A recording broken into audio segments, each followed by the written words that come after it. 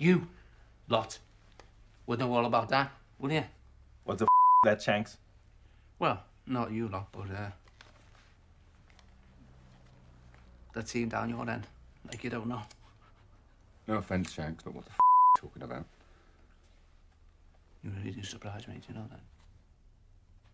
Do you know something we don't?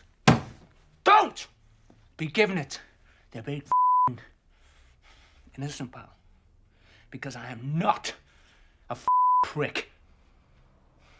I never said you were, Shanks. Cool it, Shanks. You really don't know? Explain. I was over in Amsterdam last weekend, right?